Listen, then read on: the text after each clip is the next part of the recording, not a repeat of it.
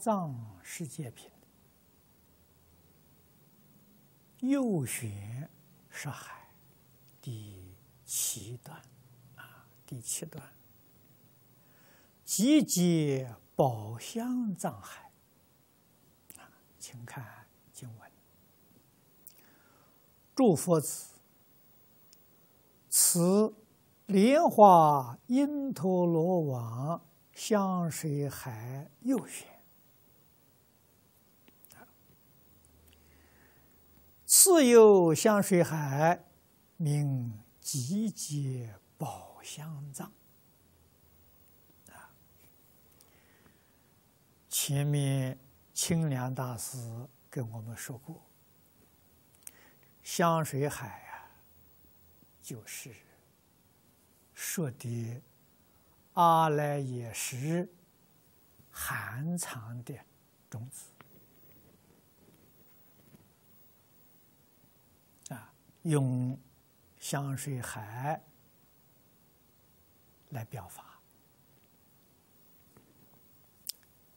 这是把这个海的名称说出来了啊，这个名的含义非常好。集结宝相藏，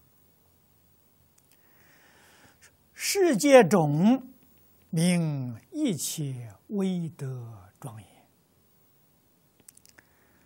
这是一个大世界啊！这个世界中跟前面一样，它所持的也有二十层世界。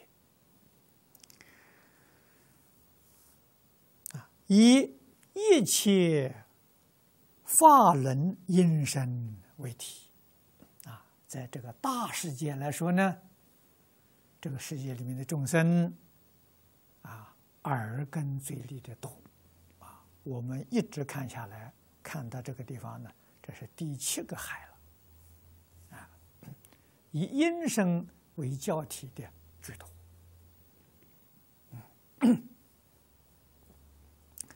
再看他所持的二十层世界，啊，经文上还是从最下面这一层介绍起，此中最下方有世界名种种出生，啊，形如金刚。啊金刚下面要不加别的字，多半都是讲金刚手啊。这个这个金刚神呢，手上拿的金刚杵啊。如果不加其他的字呢，哎，这个都取多半呢用这个来表法。一种种金刚山床柱。啊这是一柱，金刚宝光云而覆其上。这是世界上空的庄严，有佛刹微尘俗世界围绕，纯以清净，佛号莲花也。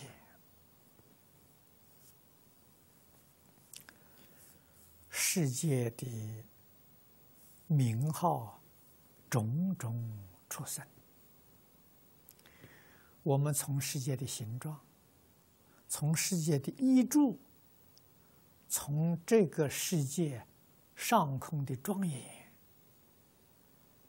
都有“金刚”这两个字。金刚在。大乘佛法里面，总是代表啊自信本具的圆满智慧。啊，像中国人最熟知的《金刚般若波罗蜜经》啊，也简称为《金刚经》。那么从这些地方呢，让我们去体会这个世界种种畜生呐。再看后面有纯一清净啊，这是化身菩萨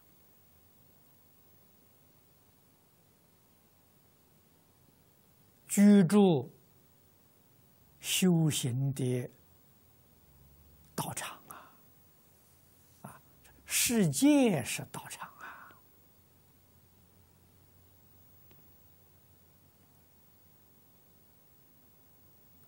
那么种种出生不能做一般解释了。啊，这个种种出生呢，是种种智慧出生啊，称性的智慧。这就好比是金刚啊，金刚是比喻啊，啊，无能毁坏呀，啊，金刚有坚固的意思，有光明的意思，有锋利的意思。啊，那么这种种出生，当然与这三个意思都相应。啊，真舍智慧，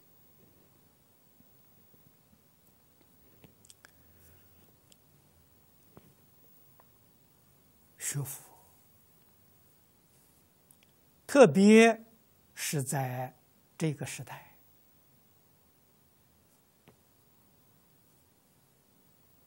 啊。更重要的是要有真实智慧呀，金刚般若，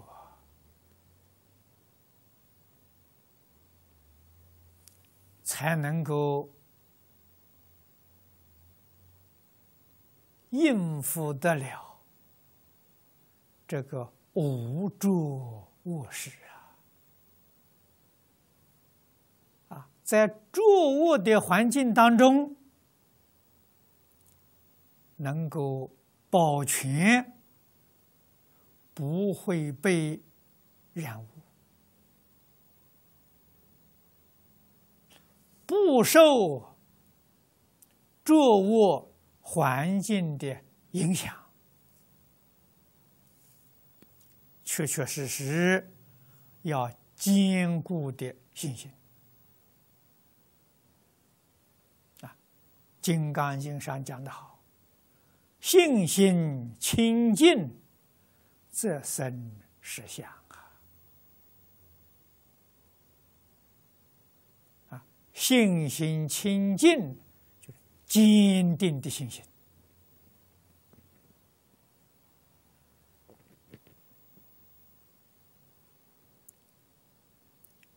信自，信他。”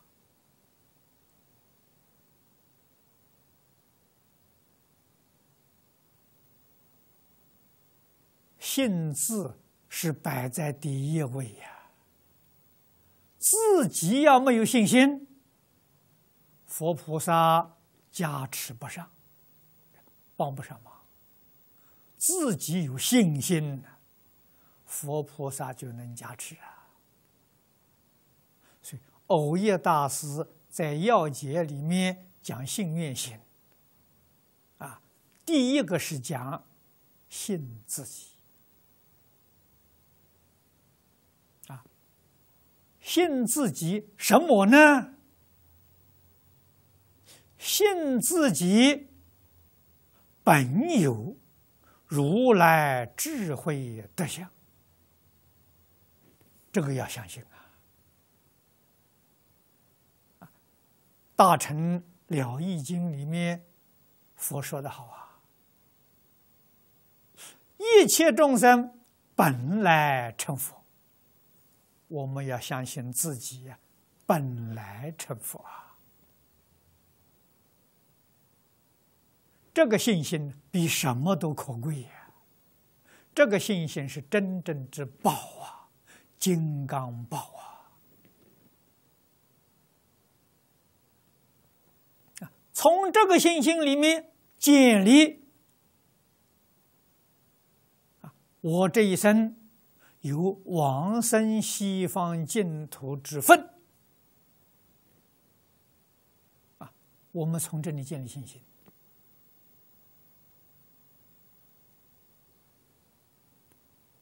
第二呢，我们信他，他不是别人，他是佛了。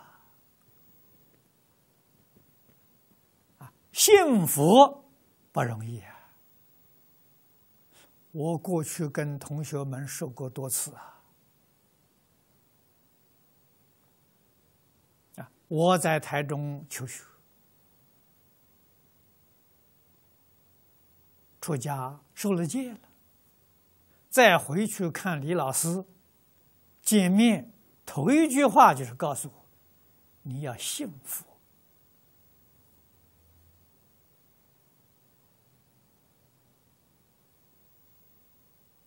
啊老师指着我对我说：“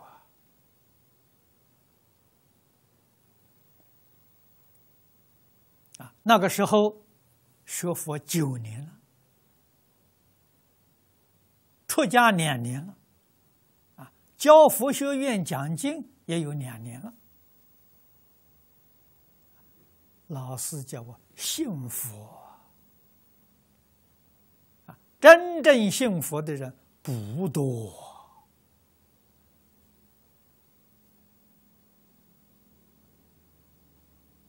老师给我说出啊，多少出家人到老死都不幸福。当时我听这一句话，听不懂啊！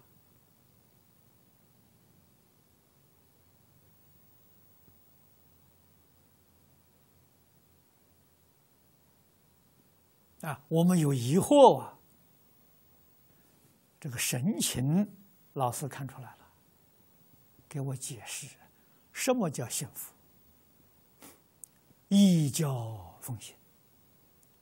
佛教你，你没有做到，不信呐。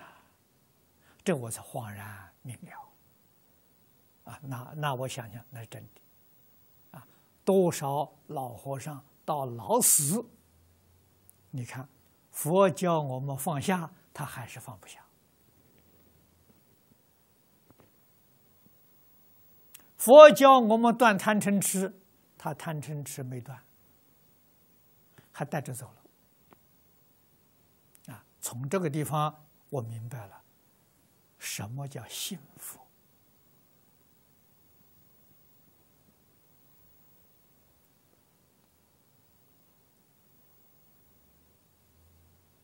啊！一定要把佛所说的话真正听懂了。佛的话是经典。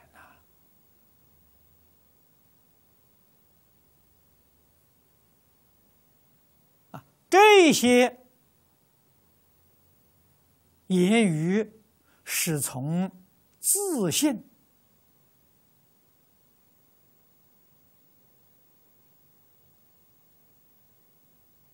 自自然然透露出来的，没有加一点意思在里头啊！加一点意思在里面。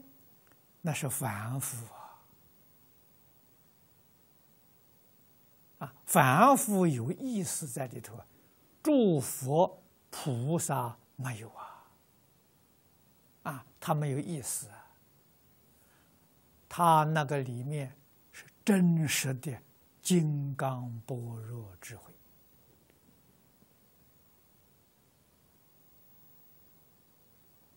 啊！我们凡夫。问题就出在这里，把自己本性、本具的金刚般若智慧转变成意思，你糟不糟糕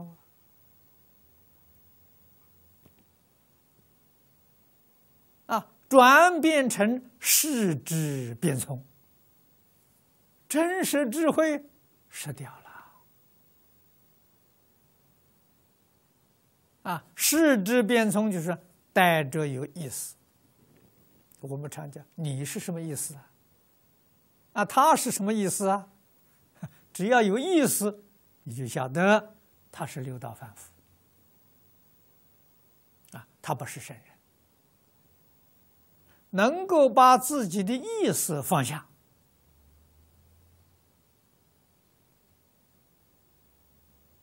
断掉，你就证阿罗汉果了。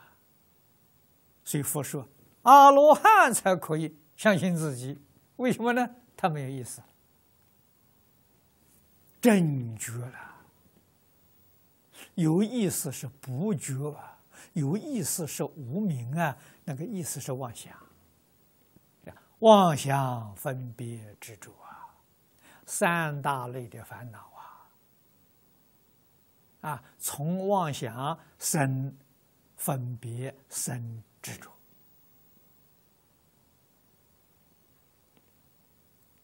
啊，有意思就是无名，意思断了，那就明了。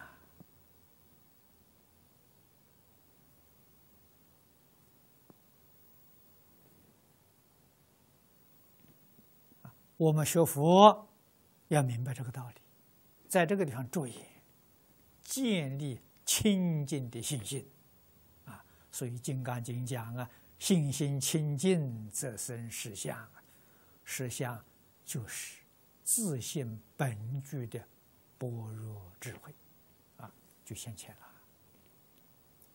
智慧能解决一切问题。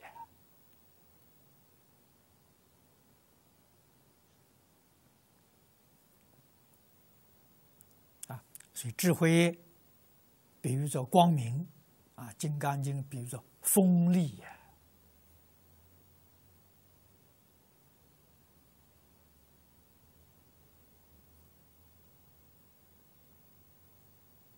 它能破一切法，一切法不能破它了。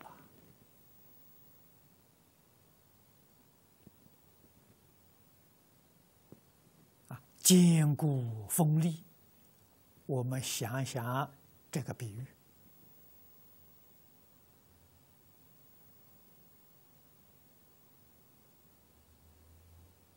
啊，如何把自己本有的这个金刚般若开发出来？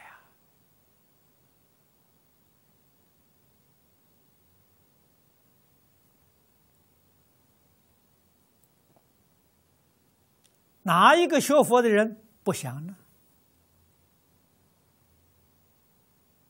啊，天天在想，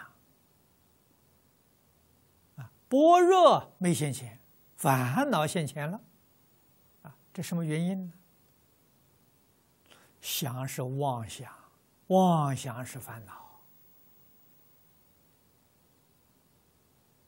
啊，那要怎么想呢？要把妄想放下。理上讲没错，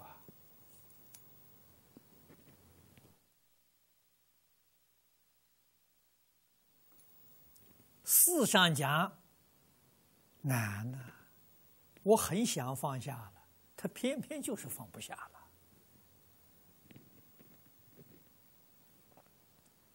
啊，每一个学佛的人都想放下，总是放不下。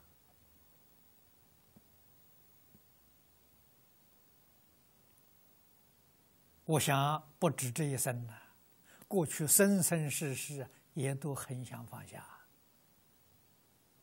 啊，那为什么放不下？总而言之，习气太深了，太重了，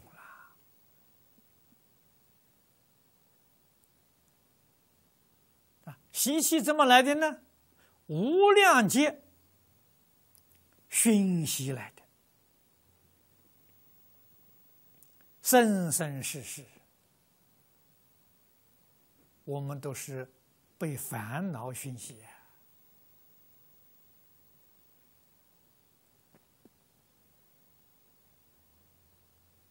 纵然遇到佛菩萨，佛菩萨为我们讲经说法，我们的毛老毛病还是常常犯，入不了佛菩萨的境界，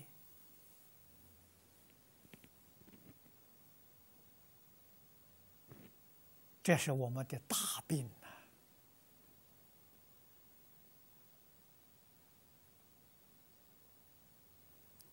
佛菩萨非常慈悲，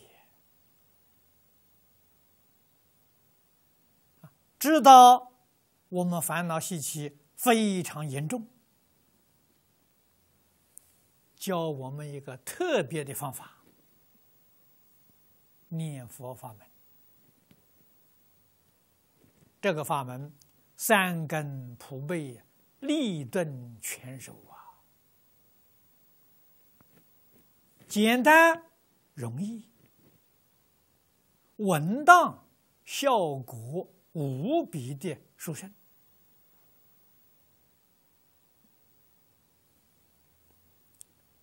肯信的人不多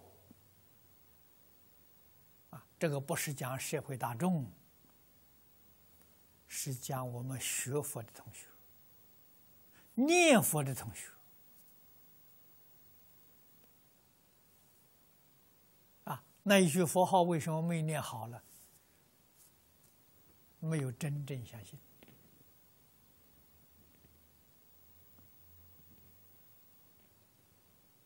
如果真的相信了，万缘放下。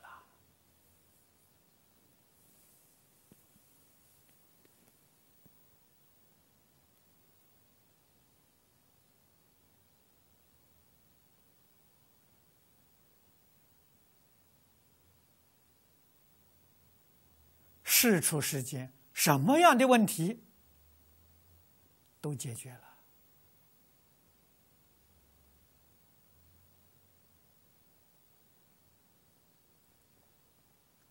啊！念头才起，不要去问这个念头善恶，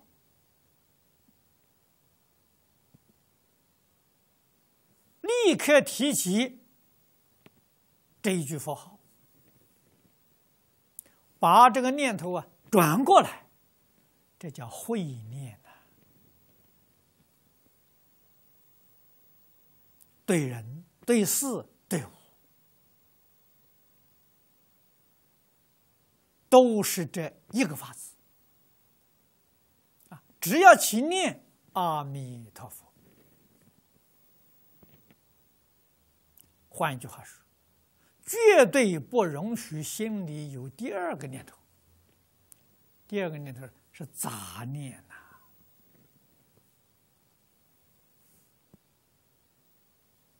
你心自然平了。啊，六根接触外头境界，清清楚楚、明明白白，是智慧。心里头只有阿弥陀佛。决定没有一切的染污，这个是念佛三昧呀。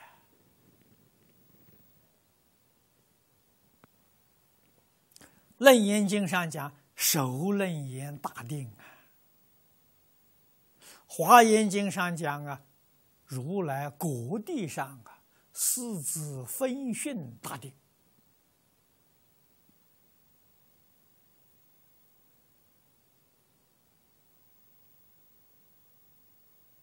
大势至菩萨会啊，啊，他老人家一点都不吝法，把他自己修学的方法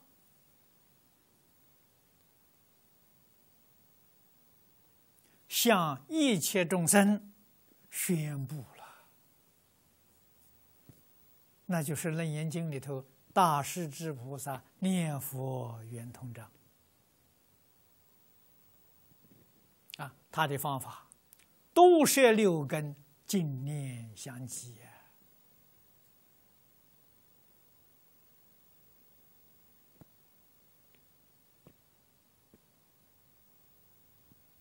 啊！怎么叫都摄六根？眼见色，耳闻声，鼻嗅香，舌尝味，乃至意之法。清清楚楚、明明白白，用心像镜子一样啊！这个镜子干干净净啊，照到外面清清楚楚啊。镜子染不染污呢？不染污啊！不照的时候它不染污，正在照的时候也不染污。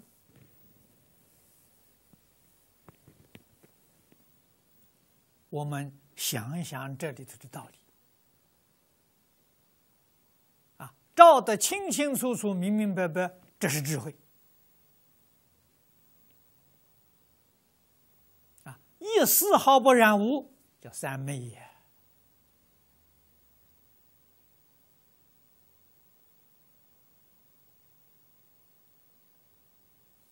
真正念佛人。我们烦恼习气很重啊，起心动念就是染污啊，就是受外头影响啊。所以大势至菩萨教我们都摄六根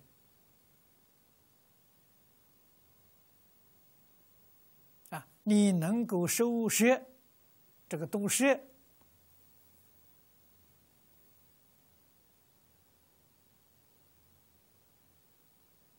就是把它收回来呀。不是把外面境界收回来呀，是把你的妄想、分别、执着收回来。啊，收不回来，没有法子。这个时候怎么办呢？一句佛号，一句佛号，这个设在这一句佛号里头。这起心动念呢？阿弥陀佛，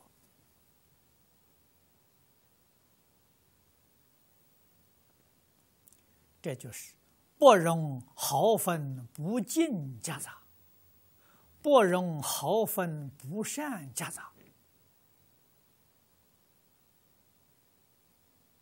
啊，处世待人接物啊，只用一个真心。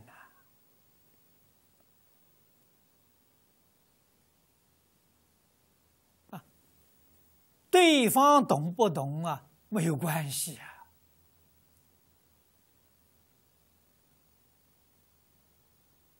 我们不要去计较，计较就是妄心了，那真心就没有了。决定没有计较，决定没有分别。今天修行。比过去确确实实要困难十倍、百倍都不止啊！这从前李老师常常教导我们，为什么？在一个世纪以前，一百年以前，在中国。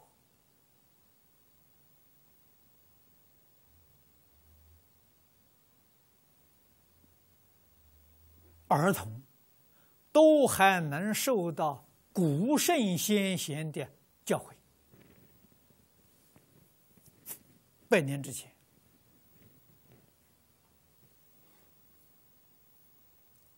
老人讲啊，长辈讲啊，老师讲啊，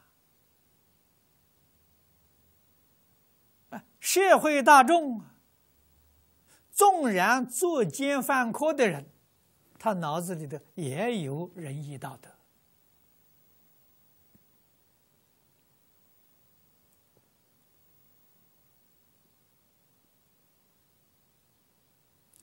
教化众生比较容易呀。啊，换句话说，它有根在呀。那么这一百年当中呢，把这个根拔掉了，逐渐逐渐消失了。在最近半个世纪，五十年，根没有了。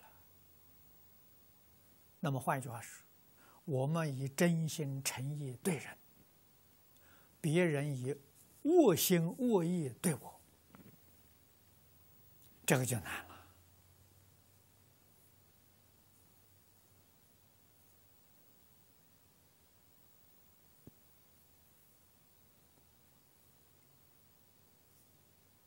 五十年前，就是这一个世纪的前半个世纪，啊，那个时候，这一些大德们、长者们教化众生，以善心善意对人，人家也不是真心真意对你，但是程度轻，虽然心里。不以为然，表面上还维持一个良好的态度，阳奉阴违呀。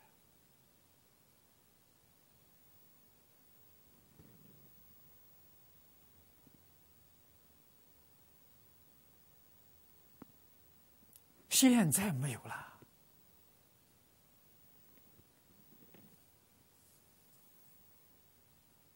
啊！立刻就给颜色给你看了，你能受得了受不了呢？啊！从前是表面上敷衍你，啊，现在连表面都没有了。众生难度刚强难化了，到现在，我们完全看到。说老实话，五十年前这个刚强难化不明显，确实刚强难化，但它表面上给你敷衍，啊，现在连表面都没有了，啊，立刻就反驳你，啊，甚至于不立刻的时候呢，马上出了门就反驳你。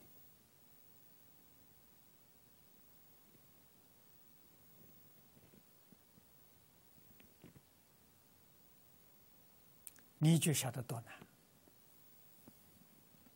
啊！那么换句话说，你要有多么深厚的修养，你不会被境界所转啊！这个时候，这真正觉悟、彻底觉悟啊，你不会怪他啊？为什么呢？他的习气烦恼是非常非常重。生活的环境又不好，天天在接受污染，严重的污染，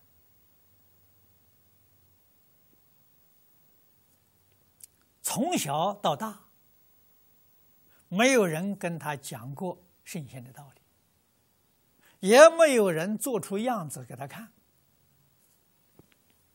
他怎么会懂啊？所以我们晓得。他那种心态，啊，那种反不反抗，正常的呀。佛在《无量寿经》上讲的话，我们要记住啊，啊，这些人，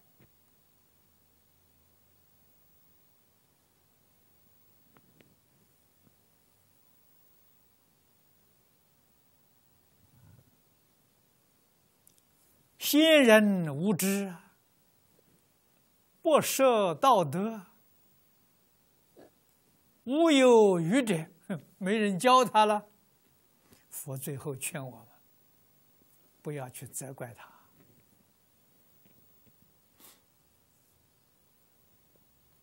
要同情他，要怜悯他，要以慈悲待他。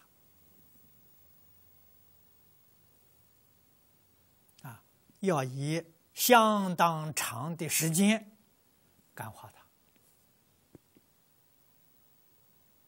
啊，那么换一句话说，我们要有很长的时间忍耐呀。啊，这个忍耐里头还要充满智慧，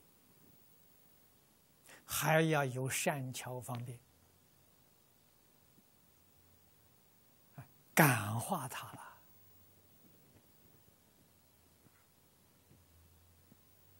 啊！自己没有定功，这个定功是三昧，没有智慧，没有善巧方便，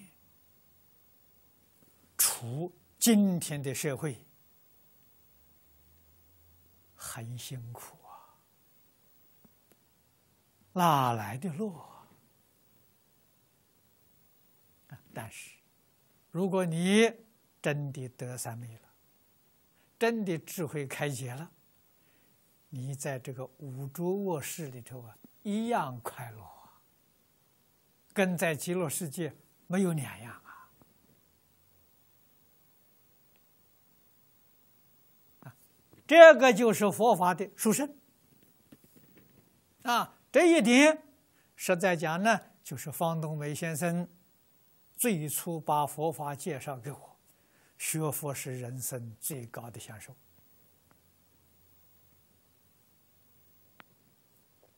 啊！那么我们没有得到这样的法喜，我们没有学会呀！啊，一部《楞严经》讲什么呢？就是讲三昧。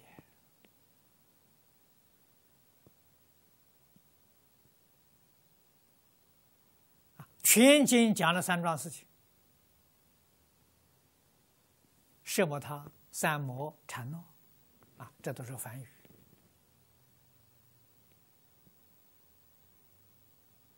都是讲的定功。啊，摄摩他的意思偏重在止，三摩偏重在观。禅那是直观平等，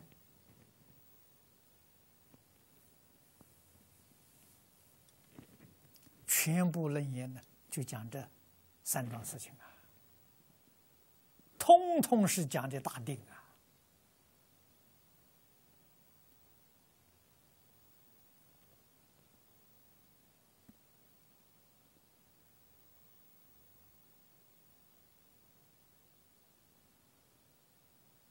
止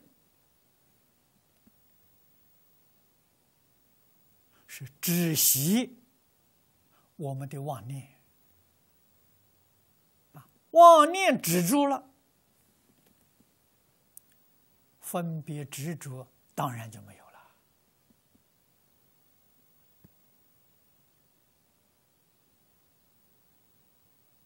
啊，所以止是放下了。惯是看破，看破你当然不会起心动念啊。禅呢是看破放下平等，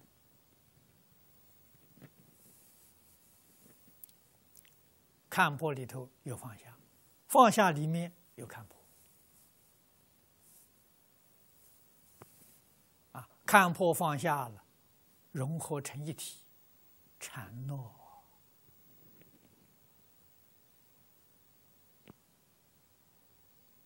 中国大乘禅宗里面所修学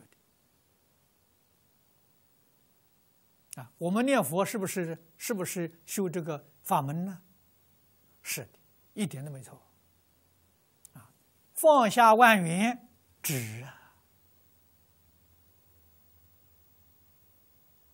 提起这一句佛号是观呐，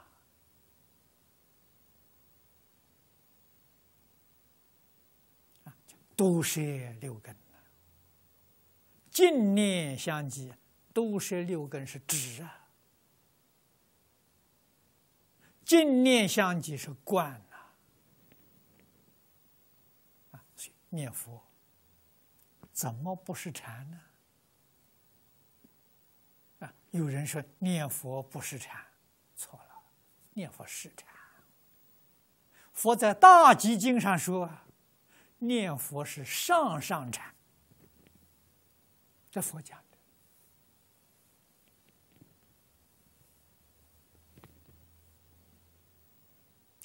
问题你要会念啊！当我们六根接触六尘境界，念头才起，立刻把它止住，不要再写了。阿弥陀佛，就罩住了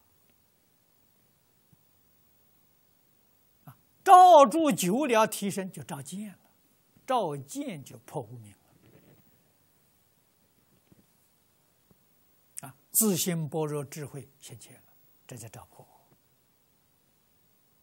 啊！自信般若没现前的时候，你照住，照住是得定。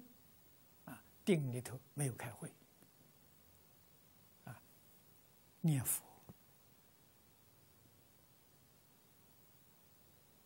方向目标还是在明心见性，啊，只是跟禅宗用的方法不一样。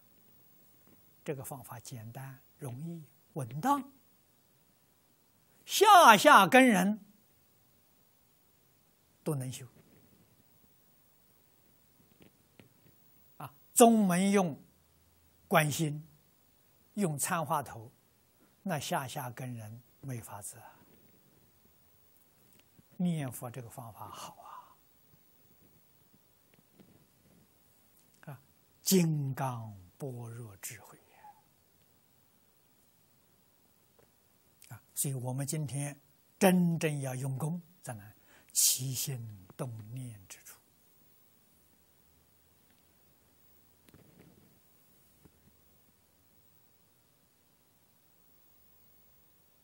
啊。纵然是帮助一切众生，啊，为什么帮助一切众生起烦恼？啊，感觉到很困难，什么原因呢？你没智慧，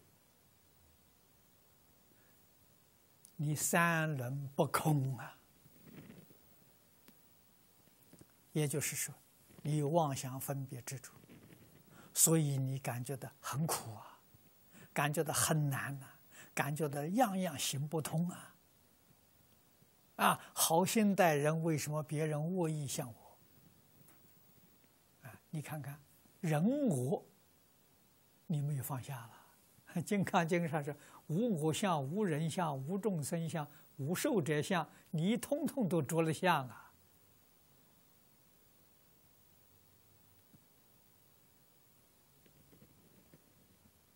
啊！你以轮回心干这桩事情很苦啊！你要以菩提心干这个事，那就自在了。菩提心是三轮体空，真的是无我、无人、无众生、无寿者。这个时候，那就跟六祖所说的了：“不见世间过。”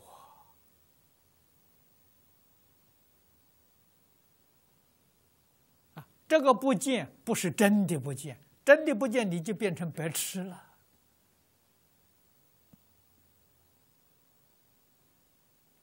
见如不见，啊，见得清清楚楚、明明白白，心里头痕迹都不着，不见了，是这个意思啊。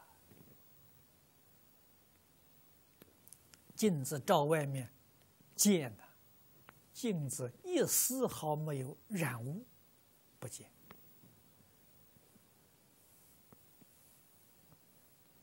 啊，见跟不见是一，不是二。这个意思就很难懂了。啊，说见说不见，你你懂得；说见跟不见是一，不是二，你就不懂了。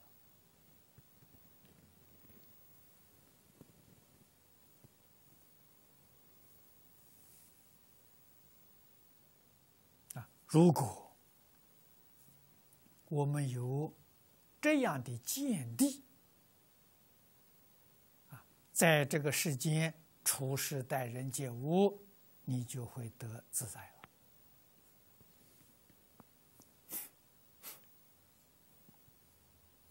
了。啊，你也就不辛苦了，你也就没有烦恼了，你也没有压力了。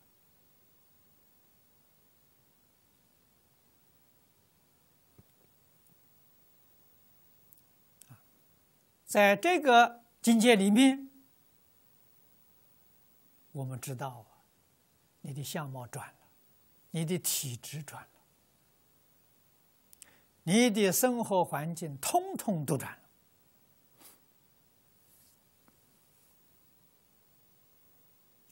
真正转境界，是从心地，不是从外面。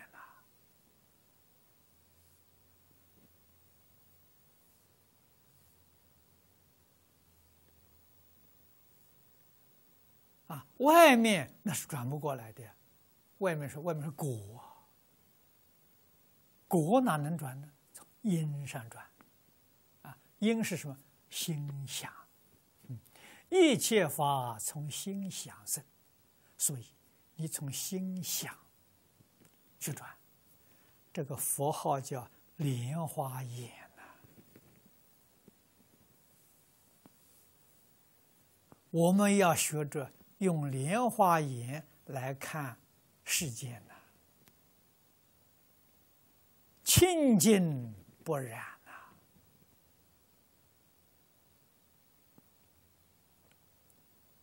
啊，想想莲花的表法，啊，设法界看得清清楚楚，决定没有丝毫染著。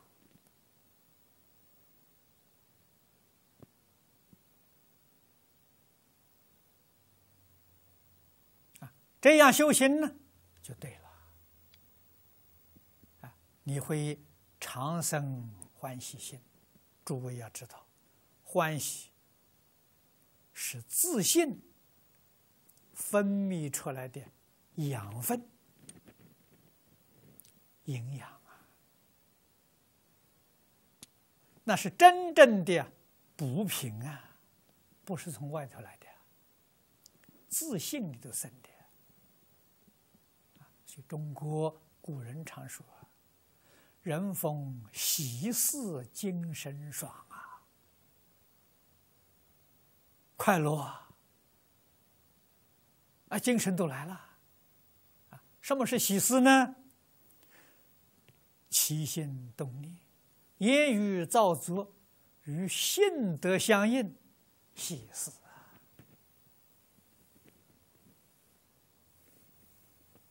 儒家讲的，他不是这个说法。你看，“学而时习之，不亦乐乎”啊！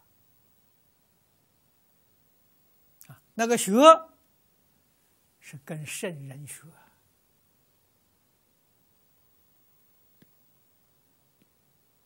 啊，从圣人那里学到的，习是落实，在生活上。在对人、对事、对物，哎，通通都能够落实，都能做到，快乐无比呀！啊，我们今天对于一切人事物，啊，为什么这么样的难？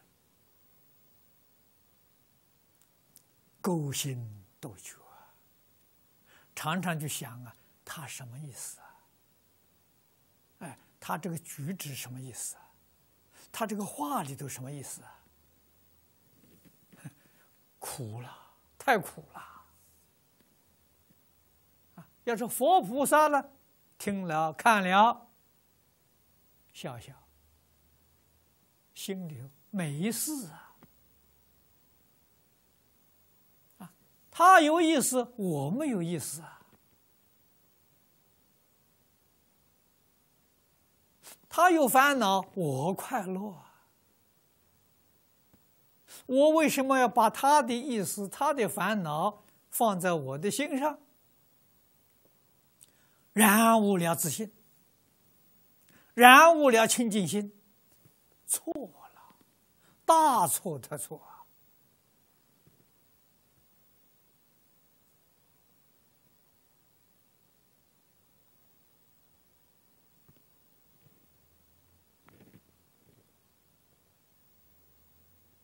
与一切众生相处，持戒守法很重要。他不持戒，他不守法，他希望别人持戒守法。啊，所以我们持戒守法，啊，恶人看到也欢喜，也赞叹。为什么呢？对他利害没有妨碍，他放心啊。他最怕的是什么呢？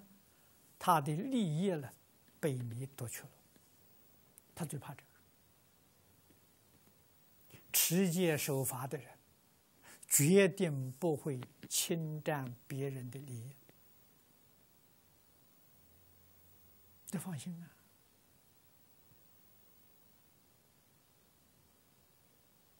啊！啊，他跟你相处，他跟你往来，哎，他没有戒心，他真的很快乐。啊，他跟别人相处，心里头。都要设防，哎，怕人欺骗他，怕人伤害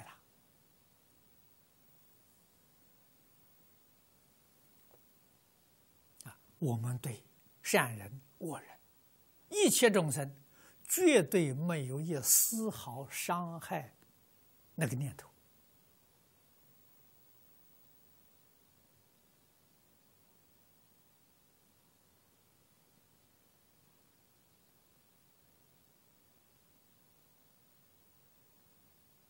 这样与心得就相应了。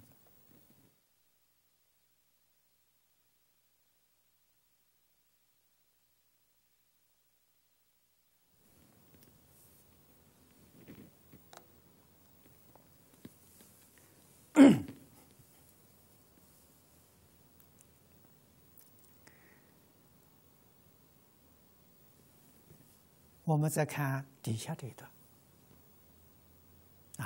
第二层，此上过佛刹微尘俗世界，有世界名喜见因，佛号生喜乐。我前面讲的这一番话了，把这一段的意思也包括在其中。喜见因呐，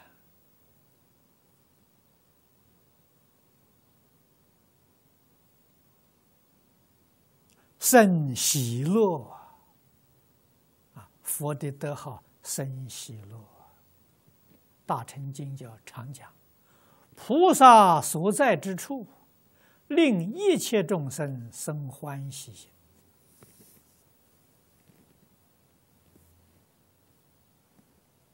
真正的菩萨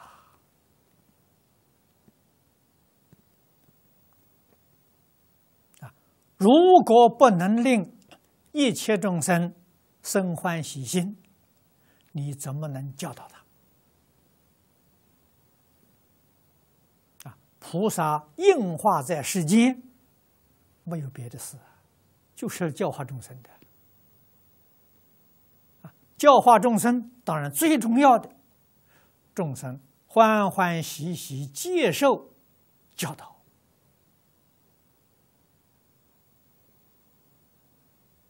啊！老师所需求的就这么一桩事情啊。学生看到你就不欢喜，掉头而去，你怎么教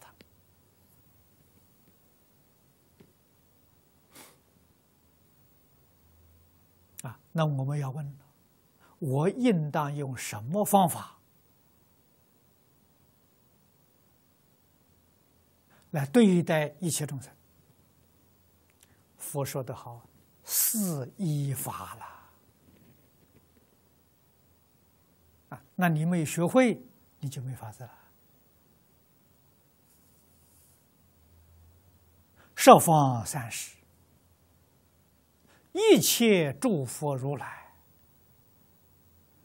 化身菩萨，啊，包括声闻缘觉，都知道用四摄法，用的非常巧妙，啊，用的非常高明，一切众生都欢喜这个老师啊，都愿意接受他的教诲呀。四摄法比什么都重要。啊，能摄受一切众生。啊，四摄法最重要的没有私心的。完全是利益他的心，啊，绝对不附带利益自己的心，真心，啊，附带一分一毫自利的心，就是夹杂毫分不善，你的效果就要打对折了。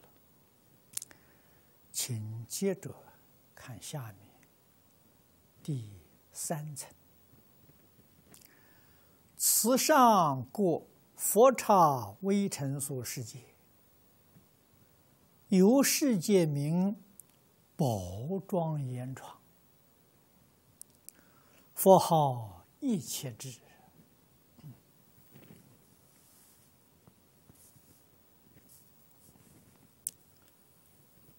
宝。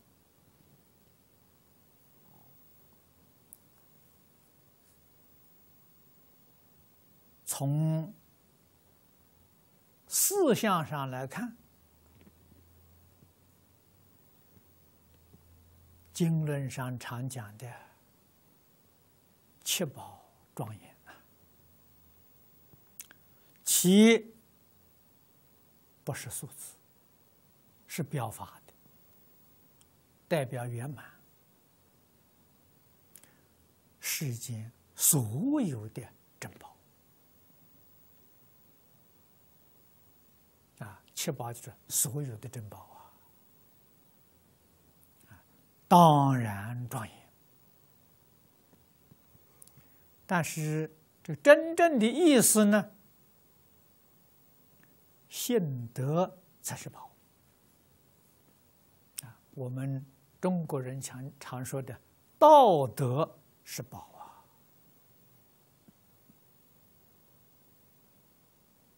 道家讲的很多啊，儒也说啊，道德是宝啊。在佛法里面讲呢，信德是宝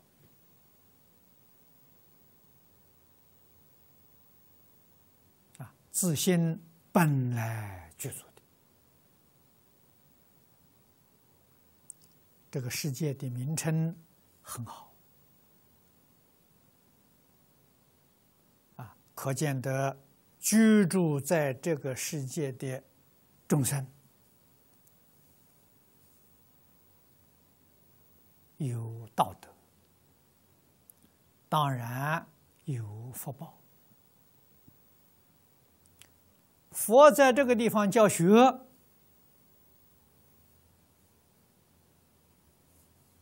课程是一切智啊。佛的德号就是课程的总称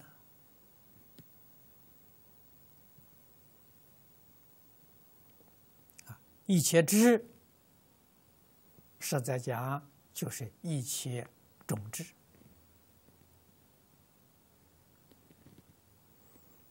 佛陀梵语，它的含义。是三种智，三种觉啊，所以我们没有办法了，用这个智跟觉来翻它啊。智跟觉 是中国文字里面的这个智慧，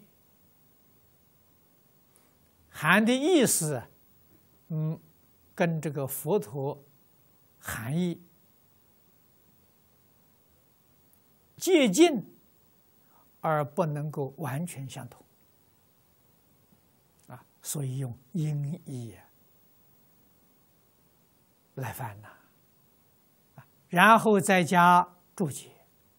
啊，佛这个字里头有智的意思，有觉的意思，啊，智里面呢有一切智，一切智是智空，知一切万物的本体，万法皆空啊，这是一切智。啊，第二种呢叫道种智。道种智是知有。啊现象，本体是空的，现象有啊，虚空是相，法界是相，刹土是相，众生是相，无量无边这些形象，什么道理？生的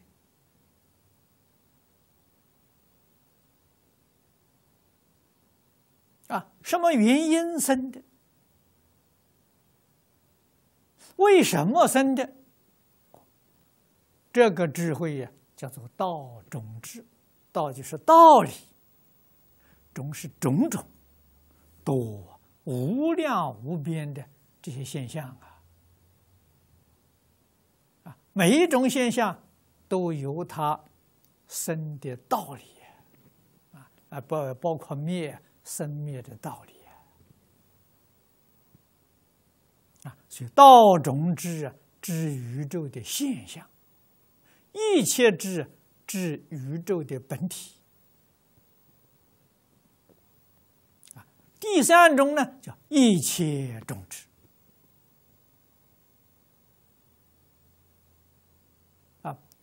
一切种子，一切就是前面一切智，种子就是道种子。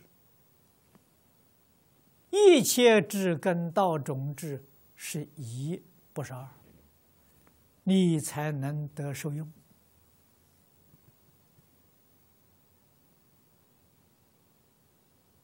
啊，诸佛菩萨得大自在，得大神通啊，那是一切种智。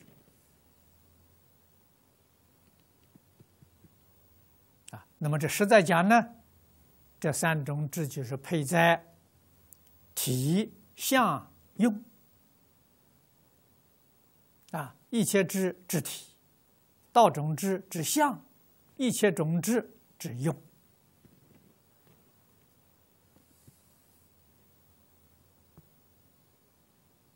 啊，这个用就是跟一切众生。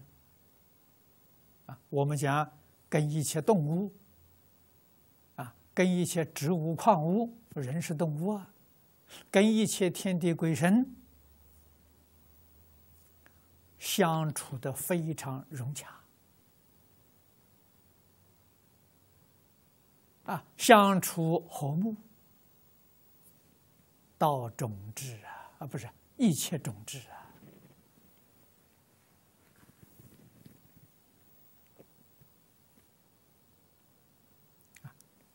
另外，佛的意思有觉的意思，觉也有三种：自觉、觉他、觉心圆满。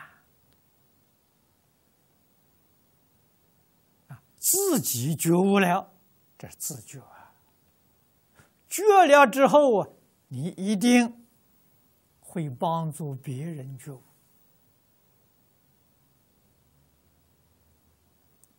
帮助别人觉悟的方法无量无边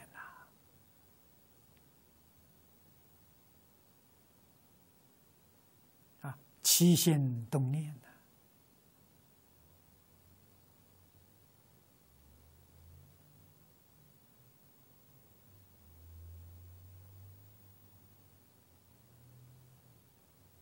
啊，六根跟这个色身的。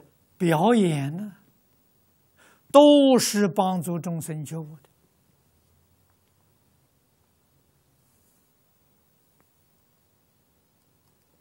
啊！但是人必须先自觉，然后才能够帮助别人觉悟。在娑婆世界帮助别人觉悟，最重要的还是要演说，音声为交替呀。言是叫他看呐，音声是叫他听啊。听比较容易觉悟，看呐。那不知不定到什么时候，他才看出门道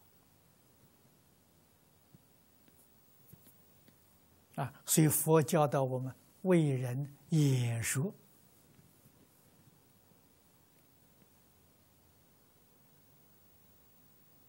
啊，这就是说明娑婆世界众生这个六根的作用，眼根跟耳根。容易欺辱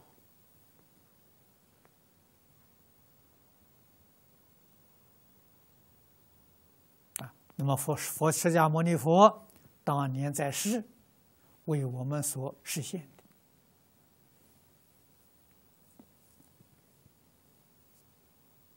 说实在话，我们听了他的教诲，然后观察他一生的表演，才觉悟。如果他要不给我们说明，我们很不容易看出他的门道。啊，经过详细说明之后，我们会看了。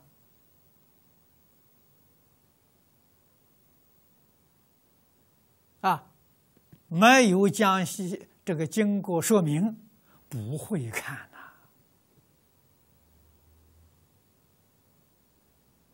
就如同我们到故宫博物院啊，去看看商周、上古时代啊留下来那些宝藏啊，啊，那宝藏是什么呢？我们去看的话，破铜烂铁。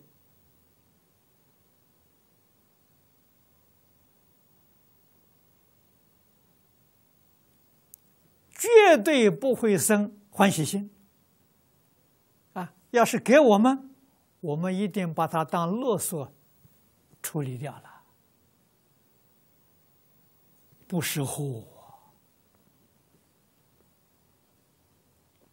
啊！反而觉得说，哎，明清那些玉器，你会非常欢喜，会喜爱它。为什么呢？你懂啊。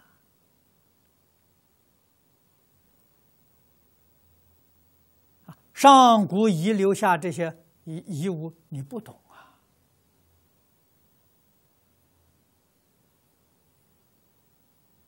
不说明不行啊！说明之后，你才晓得那是珍宝啊！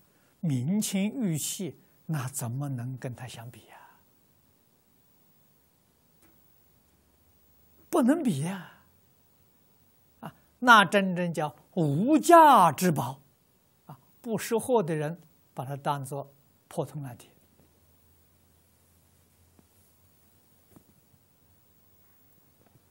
啊！大圣大贤的视线表演，我们凡夫看不懂，就像那些上古留下来这些宝物一样，看不懂，没在意。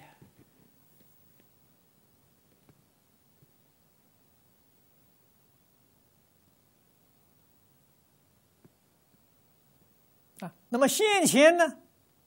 社会上一般这些娱乐啊、欢乐的这些表演，非常有兴趣。为什么呢？他看得懂，浅呐，浮浅呐，哎，他看得懂，他很有兴趣。所以你看每一个表演，还卖票。观众都是上千上万人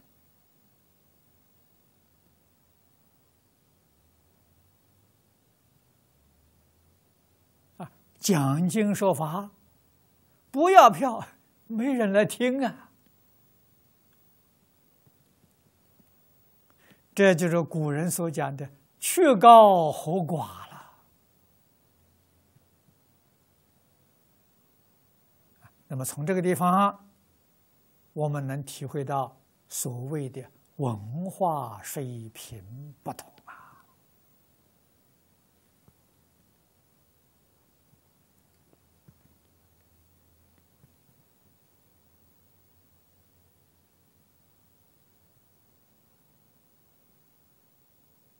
啊，啊这个欣赏、领悟的水平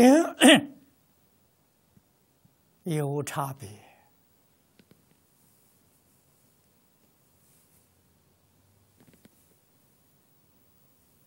我们总算很幸运，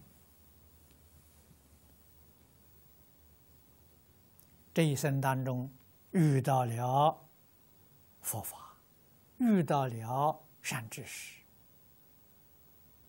啊接受佛法这一段长时间的熏陶啊，现在怎么样呢？现在渐渐也会看了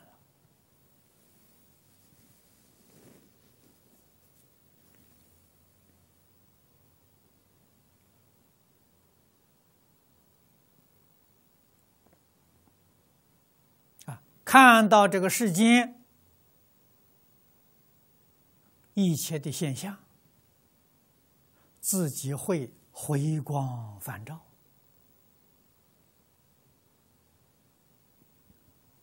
会悟出一些道理，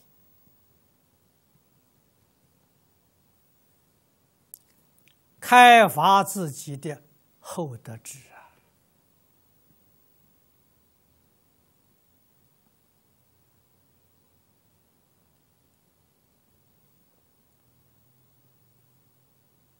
啊，我们看到两个小朋友在路边上起了争执了。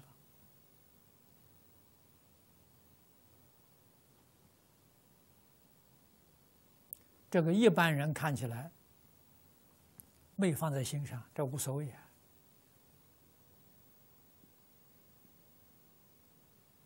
真的印象都不落啊。修行人看到这个现象，这个一种现象呢，开悟了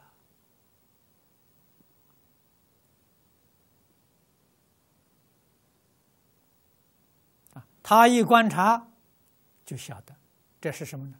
冲突、矛盾从哪里生的？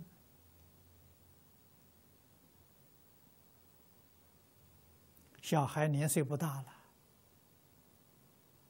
从妄想分别执着生啊，啊，见到形象啊，他就能回归到自信了，他就能回归到圣教啊，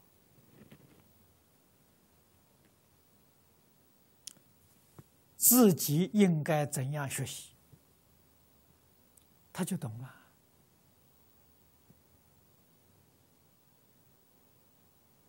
然后你能够想到，佛在一切经教里头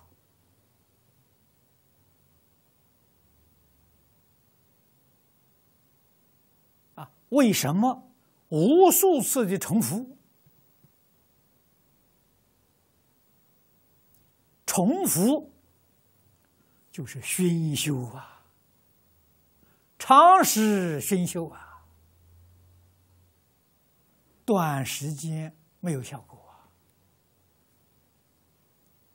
啊！我们每天读这部书，中国古人常讲啊，“读书千遍，其义自见”。一千遍，这是熏修啊！一遍两遍，你不会开悟啊；十遍百遍呢，你也不容易开悟啊。千遍万遍，你开悟了，你才真正明白了。明白之后还念不念呢？还念，还是千变万变，干什么呢？做样子给别人看，那就叫他了。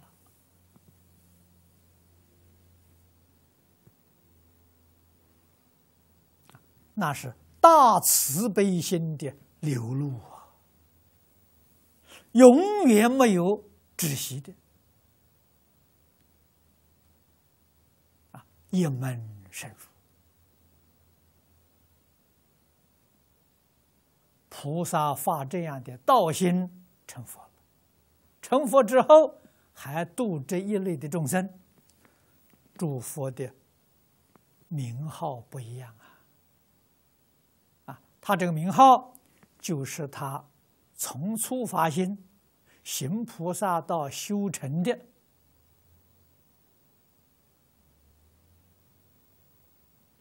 成果啊！啊他修学的总纲领呢？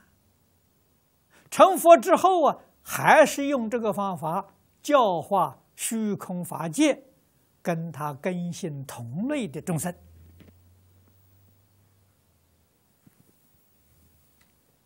虽然在果地上门门都通了，什么问题都没有了，啊，一精通，一切精通了，一切精通。他还是弘扬他自己原来修的这一部经，你想想看，这里头是些什么味道？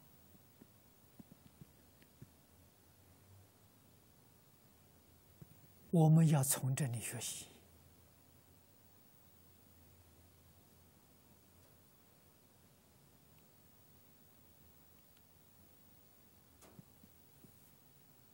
这种方法，实在说，快速成就啊，啊，稳当成就啊，绝不夹杂其他法门，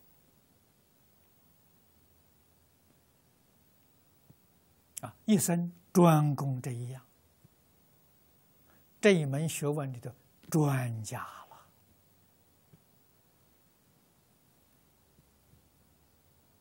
专之后播，播还回到专，可贵啊！这真正是真实慈悲，为一切初学的众生做示范啊！让初学的人知道哦，把心定在一门，守住一门。一门深入。啊，到你身心清净，没有疑惑了，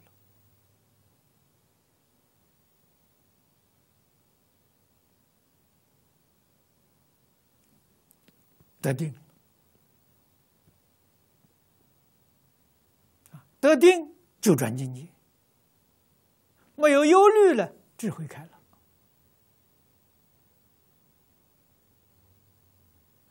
能化解世出世间一切问题，离苦得乐。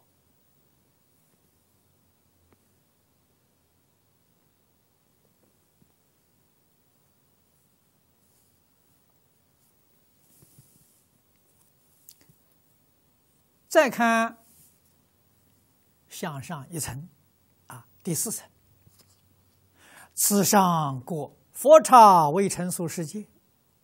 由世界名多罗花普照，佛号无垢极妙音。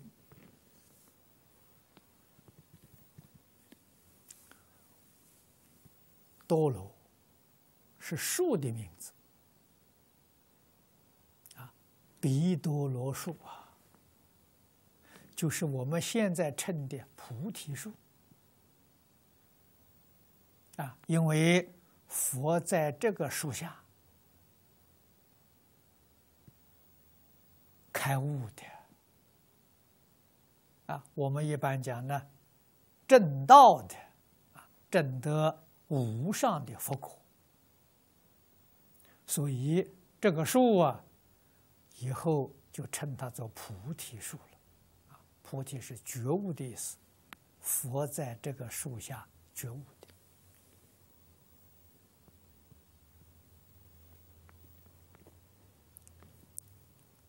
那么多罗花的意思，我们就明了了。觉悟的行为，就叫做花了。啊，不觉悟的行为是烦恼。啊，不觉悟的行为是简单。再举几个例子来说。觉悟了之后呢，布施啊，不觉悟的不觉悟的时候，作卧，觉悟之后呢，持戒守法，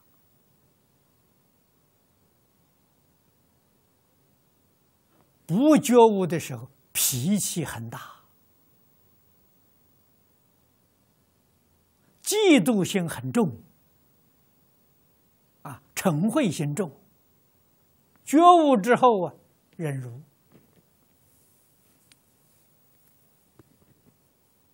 啊，不觉的时候，懈怠懒惰，觉悟了之后，精进。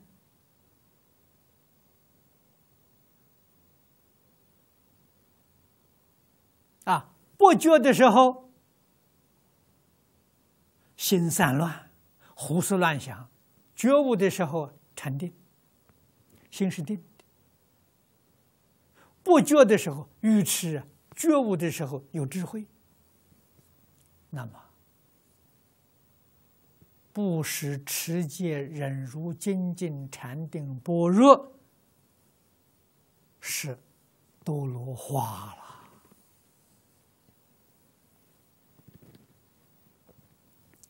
普照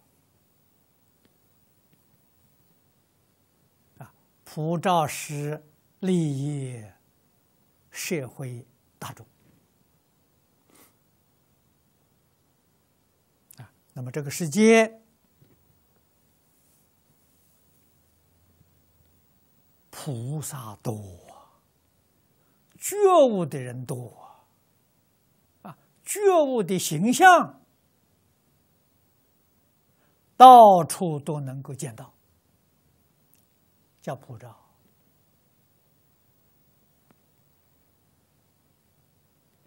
啊。那么佛在此地教化众生，宗旨纲领无垢极妙音。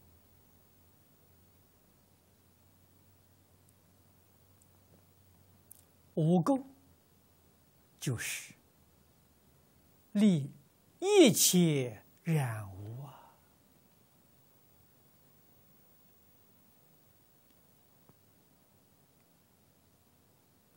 能够立一切染污，心当然是极静的，极静是自受用。如来果地上所证到的。大乘教里面，称之为寂灭忍。啊，《人王经》上完全用忍来界定菩萨修行的层次。啊，用五种忍。最高的机密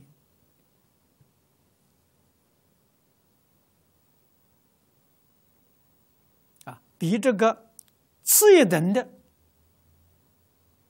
无生法人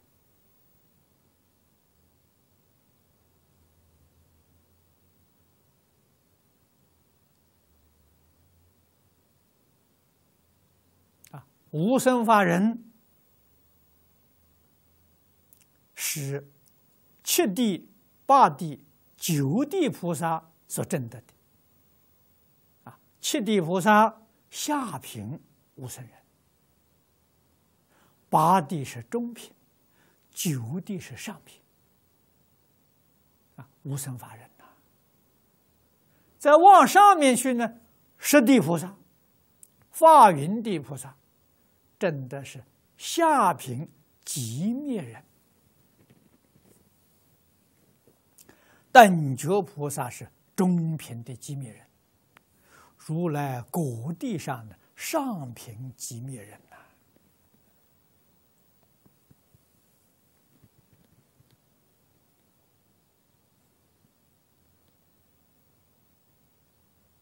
这个是这个名号啊，无垢极是。如来果地上所证得的境界，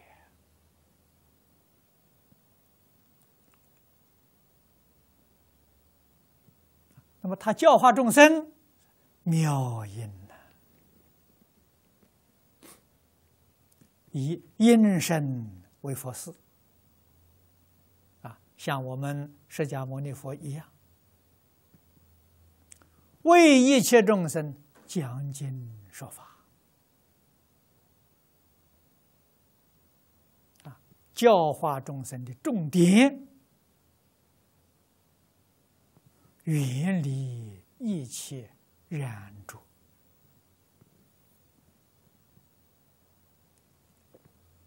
啊！那在我们用现在的话来说，偏重在放下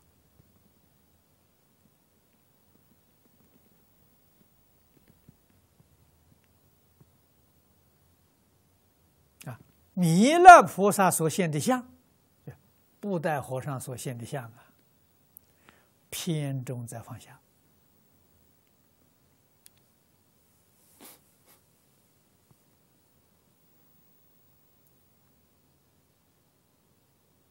我们在典籍里面看到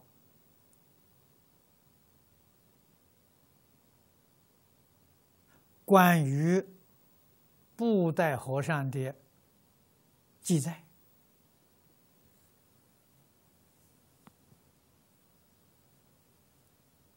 布袋和尚出现在中国南宋时代，啊，南宋高宗的时代，跟岳飞同一个时代，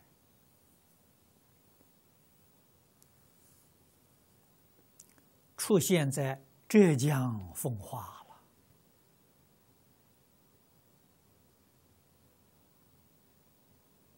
了啊！没有人知道他的名字啊！不但他俗家姓什么叫什么，没人晓得；出家的名字也没人晓得。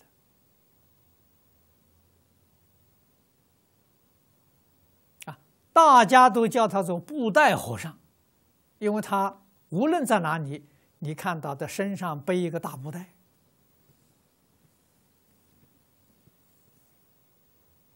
啊，别人供养他什么东西的时候，他也通通放在布袋里头，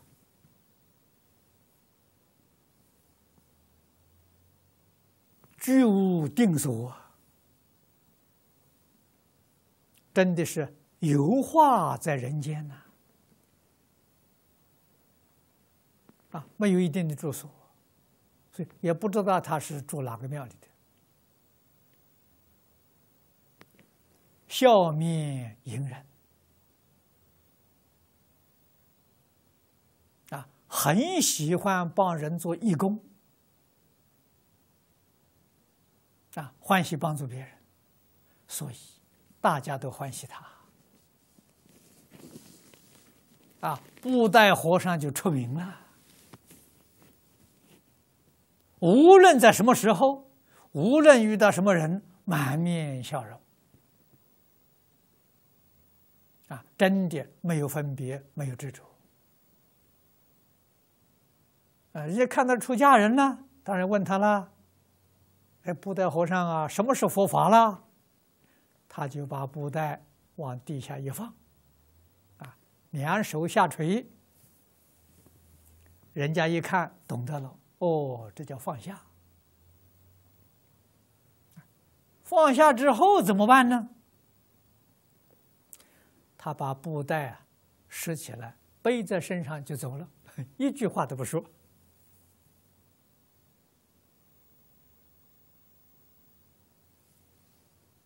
事相啊，让你去体会。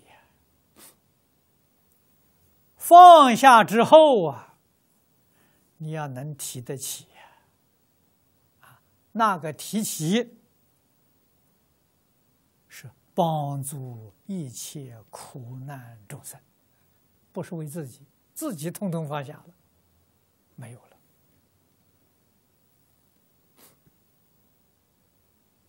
要把教化众生、帮助众生破迷开悟、利苦得乐这一桩事情提起来，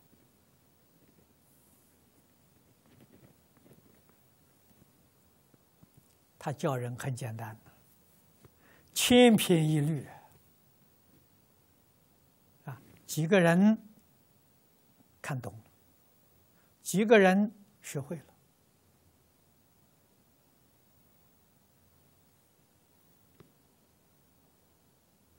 他走的时候，啊，也就是他圆寂的时候，我们一般人讲他死的时候，他告诉别人，他是弥勒菩萨再来的。说完了，他真的就走了。所以，中国以后啊。佛门里面塑造弥勒菩萨的像，通通造不带和尚啊，他是自己说出他的身份，说了就走。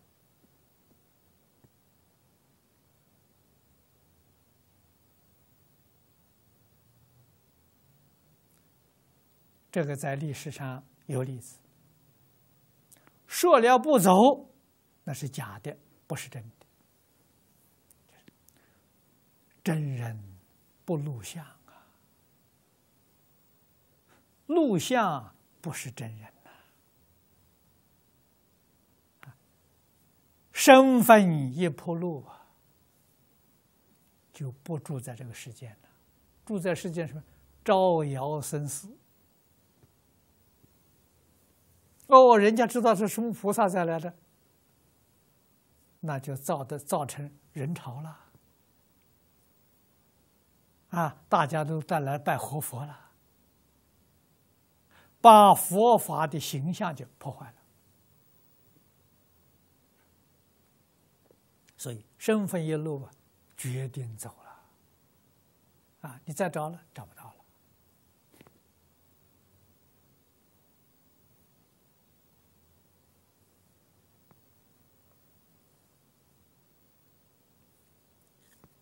无垢极妙音，我们要学，要学放下，要学远离一切烦恼啊！这个外面呢，所有一切不善的缘，要远离啊！急呢？是要把内里面烦恼习气要断掉啊，你才真正到清净寂灭啊！用什么方法呢？念佛第一殊胜。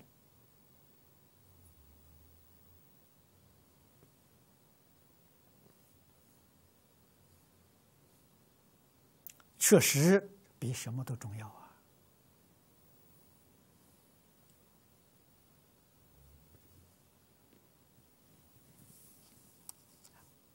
再看下面第五层，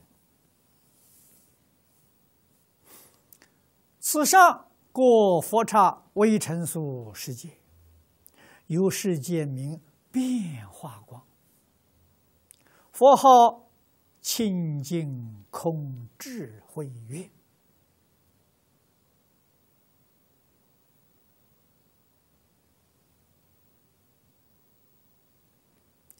这个世界变化光，光是智慧光明啊！变化光啊，我们就晓得这是全智啊。一般讲善巧方便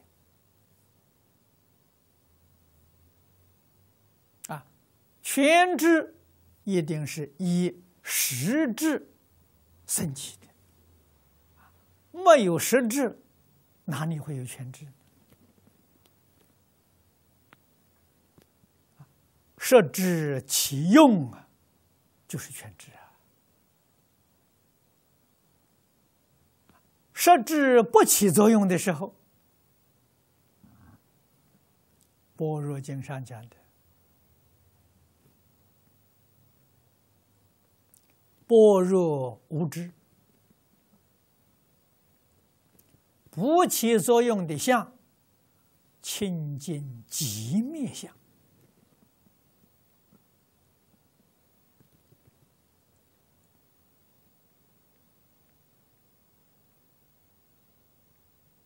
所以说无知啊，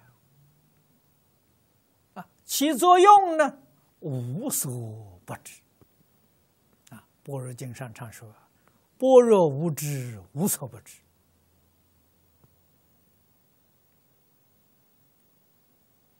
啊，无知，真心的，自信的现前这个里头确确实实一念不生呐。啊，《坛经》里面讲的，本来无一物。这是自信、真心啊，清净心本来无一物啊。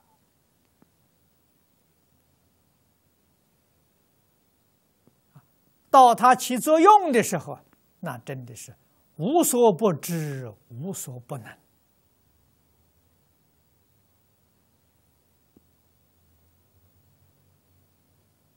万德万能。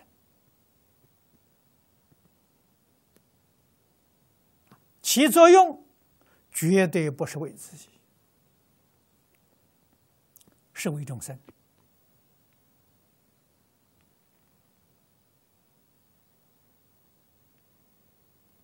啊！起作用还要为自己，那不是佛佛菩萨，还没觉悟。啊那是十法界里面的佛，十法界里面的菩萨，相似为也不是真的。啊一真法界里面的法身菩萨，绝对不会起个念头为自己，没这个道理。啊，全是为众生呐，不但是。无我相、无人相、无众生相、无寿者相啊！实际上是无我见、无人见、无众生见、无寿者见。那个见就是我们今天讲意思，念头都没有了，自受用。那么。菩萨教化众生，其后得知，妨不妨碍自己呢？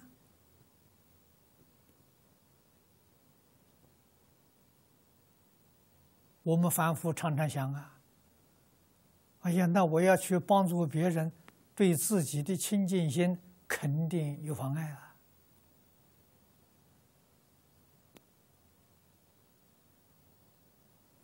反复的想法，全想错了，啊！实际上怎么样呢？完全没有妨碍，那叫真清净啊！啊，真自在呀！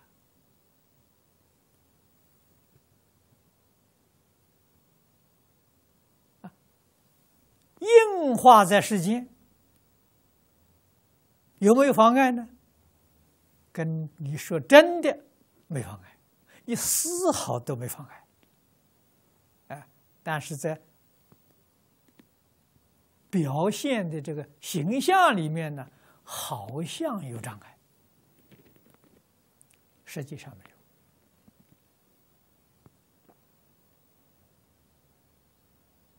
有，啊，都是为利益众生呐，利益现前众生呐，就是眼前这种程度的众生。啊，就像智者大师，啊，智者大师释迦牟尼佛再来的，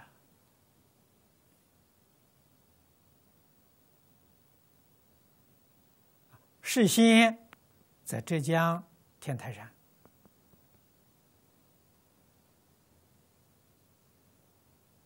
啊，法华宗的祖师啊，他老人家往生的时候。他是念佛往生的，做这个样子来给你看。最后念佛往生。啊，他的学生徒弟们问老师啊：“老师，你往生西方极乐世界，西方极乐世界三杯九品呢？你老人家生哪个品位？”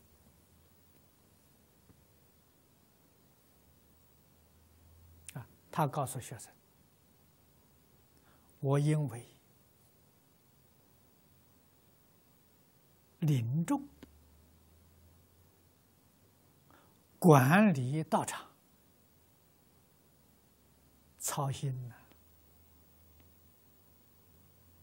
啊，用心不专呐，所以无品位往生。”天台家的五品位，就是净土宗里面讲的凡圣同居土，待业往生，品位不高啊！诸位同学要有慧眼，你细心观察，释迦牟尼佛在表演。他早就证得圆满菩提了，还要表演一个凡圣同居土往生，什么意思？你要懂得了。我们如果是凡夫生，烦恼都没有断，这一生修行啊，你要管事。管人，我们常讲嘛，管钱财，常常为这个操心，嗯，恐怕不能往生啊！啊，他老人家的表演，就是告诉你，啊，干这个事情肯定要对自己有很大的伤害，啊，他愿意这么做。舍己为人，牺牲自己的品位，来照顾大众，来帮助大众，这是大慈悲呀！啊，他讲了，他如果要是不管这一些人事，他的品位会很高。表演给我们看呐，让我们看了之后觉悟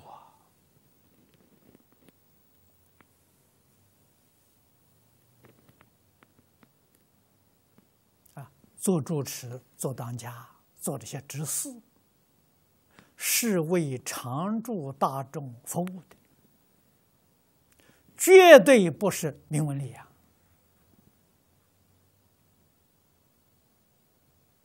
啊，如果把这个看作名闻利养，看作地位，看作身份，啊，看作自己一种荣耀，不能往生。啊，来生到哪里去了？来生堕落了，人生都得不到。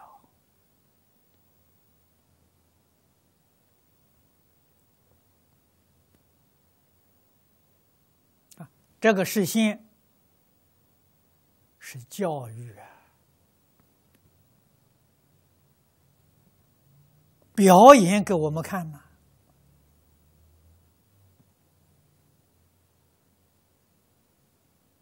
种种表演，千变万化了，但是这个里面充满了真实智慧，叫变化广啊！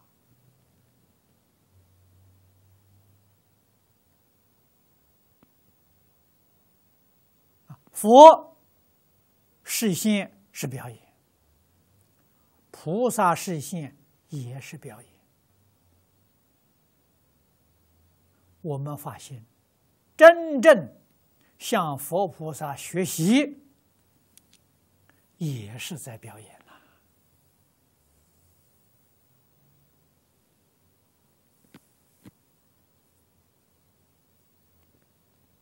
啊，教学课程没有一定的标准。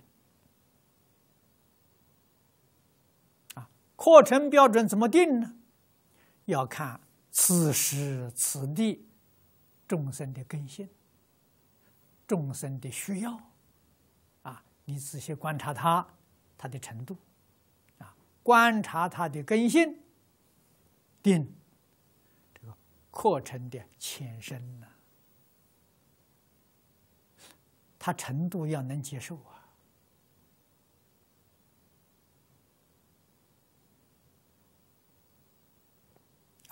还要观察他的需要，为什么呢？帮助他解决眼前的苦难。啊，你想想，他现在最需要的是什么？我们不要找了，印光法师已经给我们说出来了。现在最需要的顿轮精分。最需要的贤贤存诚，最需要的是信愿念佛求生净土。印光大师已经给我们说出来了：世尊末法九千年，我们在这个地球上帮助。这个地球上所有一切众生，这个是方向、目标、教学的宗旨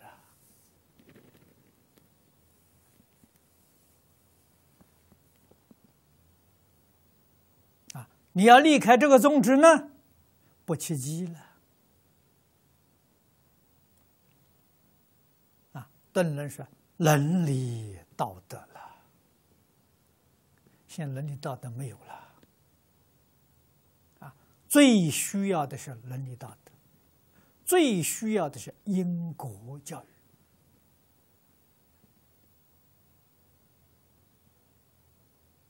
育，啊，把伦理道德跟因果教育糅合在一起，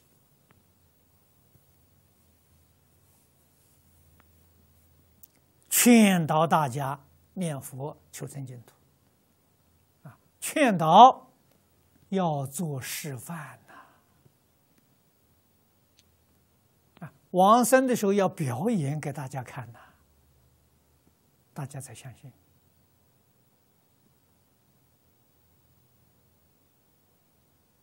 啊，没有看到真正的表演，我们劝他，他半信半疑。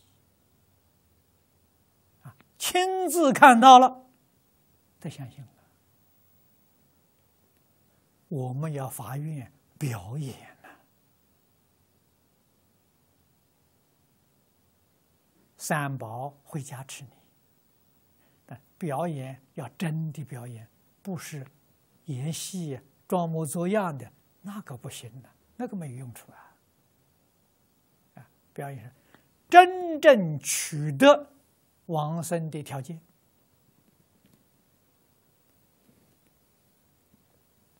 啊。像前面讲的，放下万缘，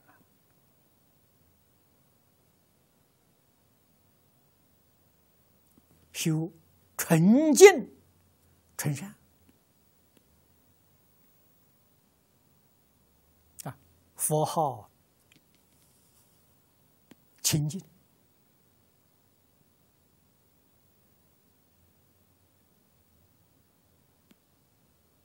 啊，清净心现前的。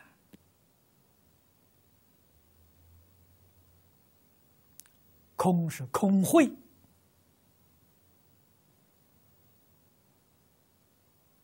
心性里头没有丝毫夹杂，自信本具智慧现前，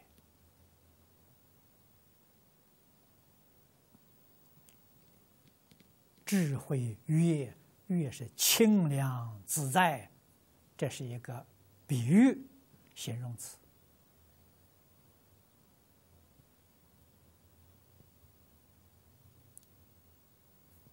佛用这个方法达到变化光光明的效果，我们应当要学习。